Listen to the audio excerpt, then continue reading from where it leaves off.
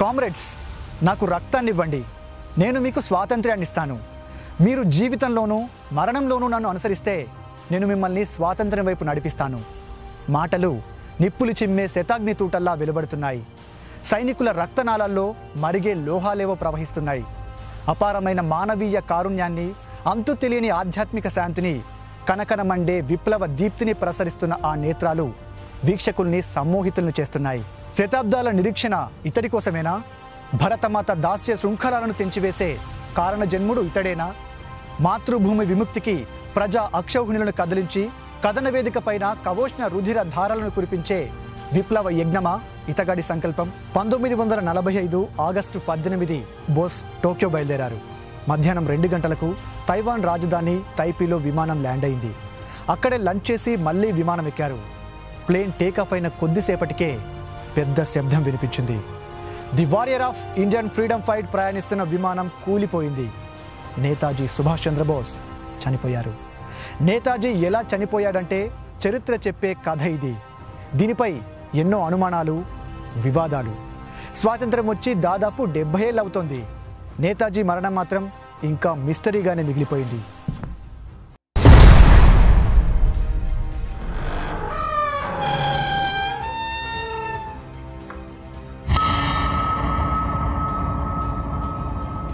రెండో ప్రపంచ యుద్ధం వేడి తగ్గాక బ్రిటన్ ఫ్రీడమ్ ఇచ్చేస్తుందని గాంధీ నెహ్రూలు భావించారు. అయితే యుద్ధంలో రేగిన దుమ్ము వదలకముందే బ్రిటన్ చేతుల్లోంచి ఫ్రీడమ్ లాగేసుకోవాలన్నది బోస్ ప్లాన్. బ్రిటన్ సతమతమవుతున్నప్పుడే దాన్ని చావుదెబ్బ తీయాలన్నది నేతాజీ ఆలోచన. అయితే గాంధీజీ అహింస అన్నారు. దూకుడు మీదున్న ఇరవై రెండేళ్ళ కుర్రాడికి రెండు నెలలకే సివిల్ సర్వీస్ ఉద్యోగాన్ని కాలితో తన్నొచ్చిన జాతీయవాదికి యుద్ధతంత్రాన్ని చెప్పకుండా శాంతి మంత్రాన్ని జపిస్తే కుదురుతుందా? ముళ్ళదారుల్లో నడుస్తూ గులాబీ గుత్తుల సందేశాలను మోసుకెళ్ళడమేంటి గాంధీజీ సిద్ధాంతం బోస్కు నచ్చలేదు. బోస్ దూకుడుని గాంధీజీ మెచ్చలేదు. ఇద్దరిది ఒకటే గమ్యం కానీ దారులు వేరు.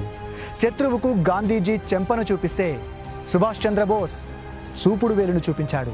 దేశాన్ని అడ్డగోలుగా చీలుస్తుంటే మీరు ఎలా ఊరుకున్నారు? ఎందుకు తిరగబడలేదు?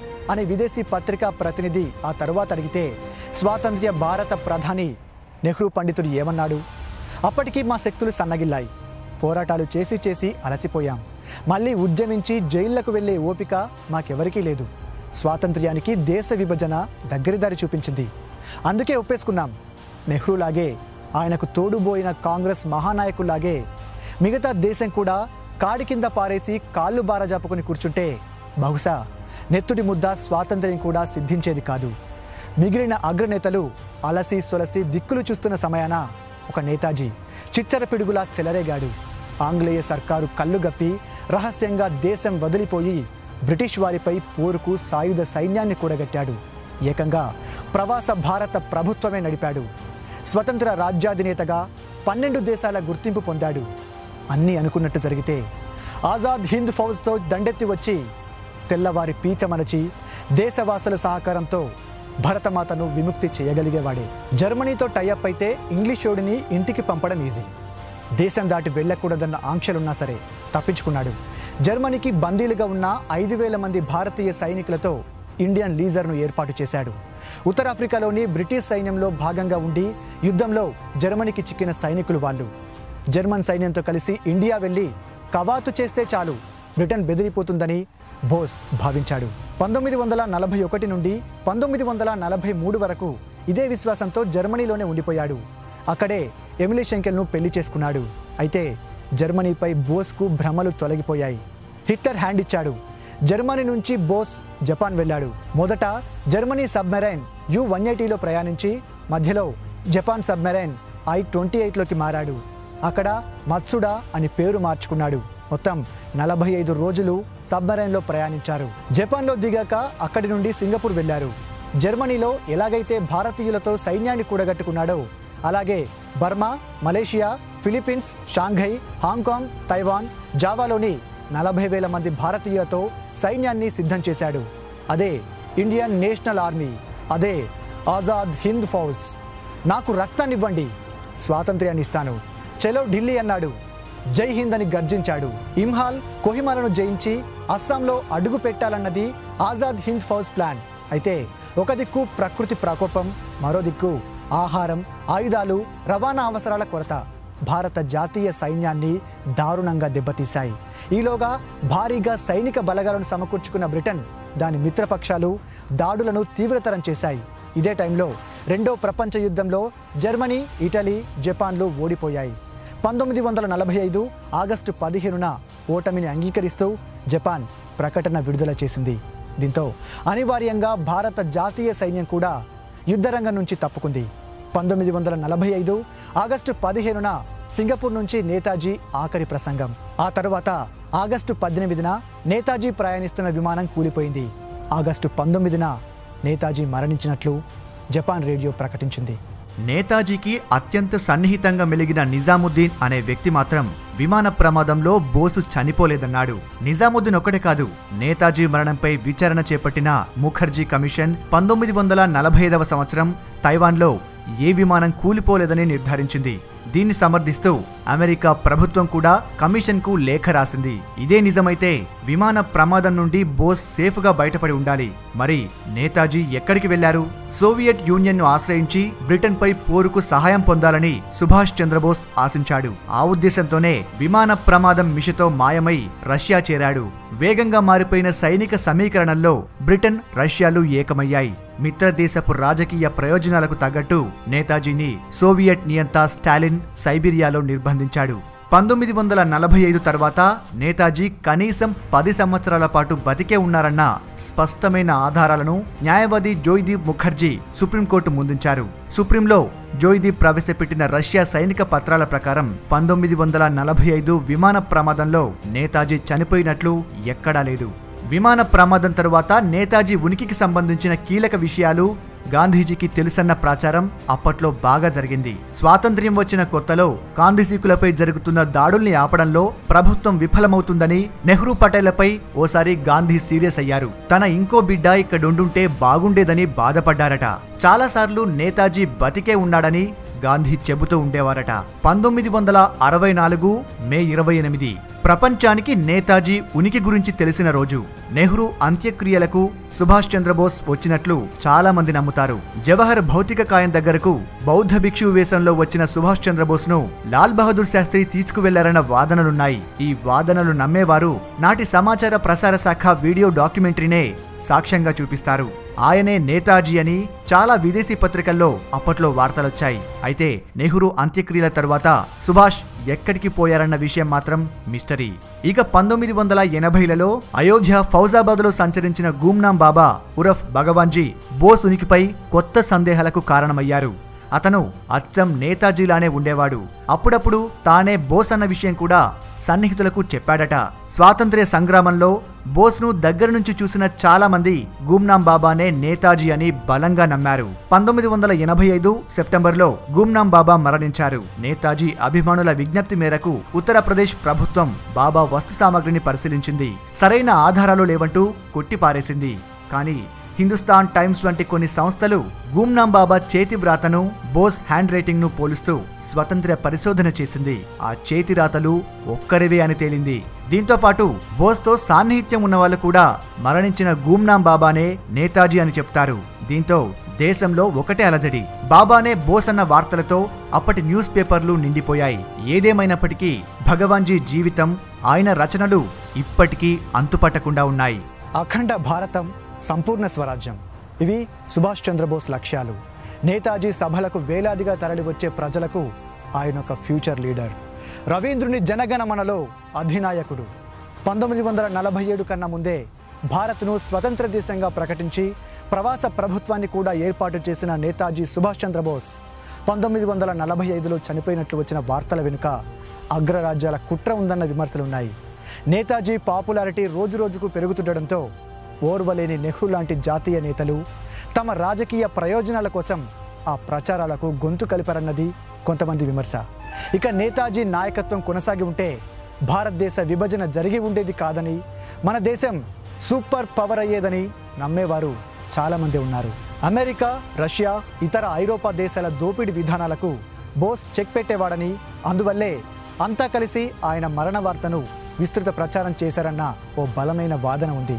ఇంగ్లీష్ వాళ్ళకు వ్యతిరేకంగా పోరాడుతున్న జర్మనీ ఇటలీ జపాన్ దేశాల సహాయంతో భారతదేశానికి స్వాతంత్ర్యం తీసుకురావాలన్నది నేతాజీ వ్యూహం. అయితే ఆయన అనుకున్నట్లు జరగలేదు. జర్మనీ జపాన్ దేశాలు అమెరికా బ్రిటన్ ఫ్రాన్స్ రష్యాలకు లొంగిపోయాయి. పోతే పోయాయి. లొంగుబాటు లాంఛనాలు పూర్తయ్యేలోపు Burma Aung San defence army Azad Hind ఫౌజులతో కలిసి బ్రిటిష్ వాళ్ళతో ఫైట్ చేయొచ్చని నేతాజీ స్కెచ్ వేశారు. అయితే బర్మా సడన్గా చేతులు ఎత్తేసింది బ్రిటిష్ వారికి మద్దతు పలికింది. ఈ పరిణామంతో నేతాజీ షాక్ అయ్యారు. మరోవైపు బ్రిటన్ సేనలు సింగపూర్ను ముట్టడించేందుకు బయలుదేరాయి. ఈ స్థితిలో అంగబలం ఆర్థిక బలం కరువై నేతాజీ అజ్ఞాతంలోకి వెళ్ళిపోయి ఉంటారని ఒక వాదన. ఆధునిక భారత చరిత్రలో నేతాజీ సుభాష్ చంద్రబోస్ ఒక యుగ పురుషుడు. బ్రిటిష్ వలస పాలకుల నిర్బంధం నుంచి తప్పించుకొని కట్టుబట్టలతో జర్మనీ జపాన్లకు వెళ్ళి భారత సైన్యాన్ని నిర్మించిన యోధుడు. రవి అస్తమించని బ్రిటిష్ సామ్రాజ్యాన్ని గడగడలాడించి ముచ్చమటలు పట్టించిన ధీరుడు. నిజానికి భారతదేశానికి స్వాతంత్ర్యం రావడానికి నేతాజీనే కారణమని బ్రిటన్ కూడా ఒప్పుకుంది. పద్దెనిమిది వందల యాభై ఏడు సిపాయిల తిరుగుబాటు తర్వాత నేతాజీ జరిపిన సాయుధ పోరాటమే తమను ఎంతో భయపెట్టిందని బ్రిటన్ ప్రకటించింది. కాంగ్రెస్ వారి క్విట్ ఇండియా పోరాటం కొన్నేళ్ళ కిందటే ముగిసిపోయింది. కనుచూపు మేరలో పోరాటాలు లేవు. మీ పెత్తనానికి వచ్చిన గత్తరలు లేవు. మరి మీరేంటి? కొంపలేవో మునిగిపోతున్నట్టు. అలా ఆదరాబాదరా జెండా పిక్కుని పలాయనం చిత్తగించారు. అంత అర్జెంటుగా స్వాతంత్ర్యం ఇచ్చేసి చేతులు దులుపుకొని పోవడానికి మిమ్మల్ని పురిగొలిపిన కారణాలేంటి అని అడిగితే పంతొమ్మిది వందల నలభై ఏడు నాటి బ్రిటిష్ ప్రధాని అట్లీ అనంతర కాలంలో ఇచ్చిన జవాబు అతి ముఖ్య కారణం ఆజాద్ హింద్ ఫౌజ్ ప్రభావం. అంటే ఈనాడు మనం విచ్చలవిడిగా అనుభవిస్తున్న స్వాతంత్ర్యం ప్రధానంగా నేతాజీ శౌర్య ఫలం అసలు సిసలు జాతీయ నాయకుడు అని నిస్సంకోచంగా పేర్కొనదగినవాడు సుభాష్ చంద్రబోస్ ఒక్కడే. జాతికి దేశాన్నేలే వారికి కృతజ్ఞత అనేది ఉంటే నిత్యం స్మరించి పూజించవలసింది ఆయన్నే. చెప్పుకుంటే సిగ్గుచేటు. పూజించే మాట దేవుడెరుగు. కనీస మర్యాద మన్ననలకే ఆ మహానుభావుడు నోచుకోలేదు. ప్రపంచంలో ఏ దేశంలోనైనా విముక్తి పోరాట కాలంలో ప్రజాకంటక ప్రభుత్వం జాతీయ యోధుల్ని వెంటాడి వేటాడుతుంది. స్వాతంత్ర్యం సిద్ధించాక ఆ యోధులే స్వదేశంలో ఘన నీరాజనాలు అందుకుంటారు. స్వాతంత్ర్యం వచ్చాక కూడా జాతీయ వీరుల్ని ప్రమాదకారులుగా పరిగణించి వారి కుటుంబాల మీద నిఘా పెట్టే తప్పుడు పనికి సాధారణంగా ఏ స్వతంత్ర ప్రభుత్వము ఒడిగట్టదు. మహాఘనత వహించిన భారత సర్కారు మాత్రం సరిగ్గా ఆ పాపిస్టి పననే పావు శతాబ్దం పాటు జంకు లేకుండా సాగించింది. ప్రజాస్వామిక విలువలను వదిలి నెహ్రూ పండితుడే బోస్ కుటుంబీకులకు ఆయన సన్నిహితులకు వచ్చే ఉత్తరాలను పొంచి చూడమని వారి కదలికలను నీడలా వెంటాడమని కేంద్ర గూఢాచార దళాన్ని పురమాయించాడట. ఆయన నిష్టగా సాగించిన ఈ నిఘా యజ్ఞాన్ని ఆయన కూతురు ఇందిరా కూడా పంతొమ్మిది వందల డెబ్బై ఒకటి దాకా యథావిధిగా నడిపించిందట. అయితే పశ్చిమ బెంగాల్ ఏలిక మమతా దీది బయటపెట్టించిన ప్రభుత్వ రహస్య పత్రాల్లో ఈ గుట్టు కాస్త రట్టయింది. ఇక్కడో సందేహం సహజం. నేతాజీ బోస్ పంతొమ్మిది వందల నలభై ఐదు ఆగస్టు పద్దెనిమిదినే విమాన ప్రమాదంలో మరణించినట్టు సర్కారు వారు అంగీకరించారు కదా. ఆయన చితాభస్మమని చెప్పబడేదాన్ని టోక్యోలోని రెంకోజీ బౌద్ధ మందిరంలో భద్రపరచడము ఆ రోజుల్లోనే అయింది కదా. తమకు సింహస్వప్నమైన నేతాజీ మరణించినప్పుడు ఆయన వలె రాజకీయాల్లోకి దూసుకొచ్చి తమకు తలనొప్పి తేగలవారు ఆయన బంధువుల్లో ఎవరూ లేనప్పుడు నెహ్రూ ప్రభుత్వం ఎందుకు భయపడింది? తమ మానాన తాము బతుకుతున్న సామాన్య కుటుంబీకుల కదలికల మీద ఎందుకు గూఢచర్యం జరిపింది?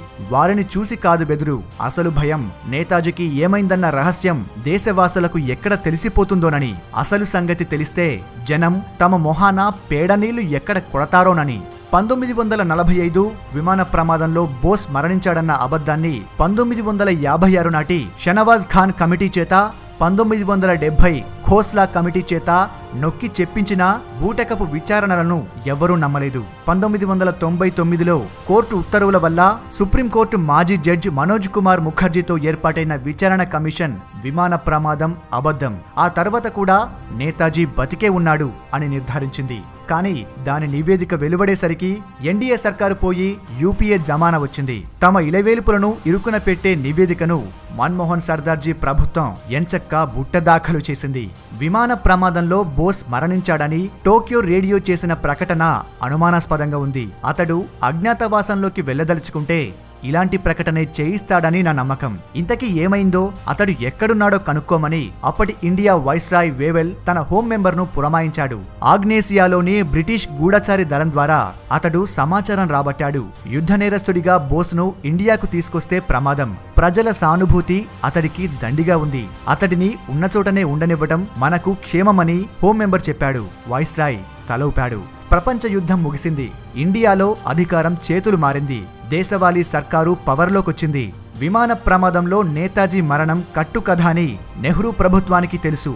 కొత్త ప్రభుత్వం తలుచుకుంటే నేతాజీని సైబీరియా చెర నుంచి విడిపించి స్వదేశానికి సగౌరవంగా తీసుకురాగలిగేదే. కానీ బోస్ వస్తే తమ పని ఖాళీ అని నవభారత నేతాశ్రీలకు తెలుసు.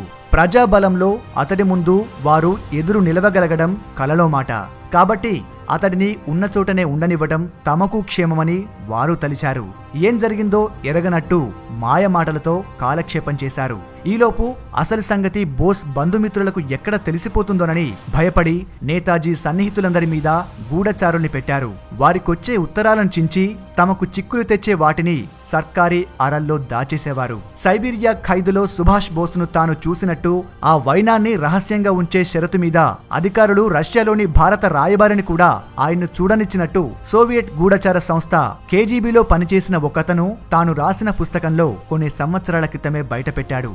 అప్పట్లో అదో పెద్ద సంచలనం. ఎవరన్ని ప్రశ్నలు గుచ్చి గుచ్చి అడిగినా భారత సర్కారు నోరు మెదిపితే ఒట్టు. మీ రక్తం ఇవ్వండి. స్వాతంత్ర్యం పొందండి అని గర్జించిన మహానేతకు స్వతంత్ర దేశంలో ఇవ్వవలసిన నివాళి ఇదేనా? మన స్వాతంత్ర్యం మేడిపండేనా? నువ్వు రగిలిన భారత యువత నెత్తురివి ఆంగ్లేయుని గుండెలో చొచ్చిన తూటావి భరత భూమిపై విరిసిన మందారానివి ఆంగ్ల రాజ్యంపై విసిరివేయబడ్డ మానవ క్షిపణివి ఓ కదిలే యుద్ధశకటమా ధ్వనించే మాటల విస్ఫోటనమా? ఓ స్వరాజ్య పోరాట యోధుడా అందుకో జోహార్లు. జై భారత్ మాత జై హింద్ జై హింద్ జై హింద్.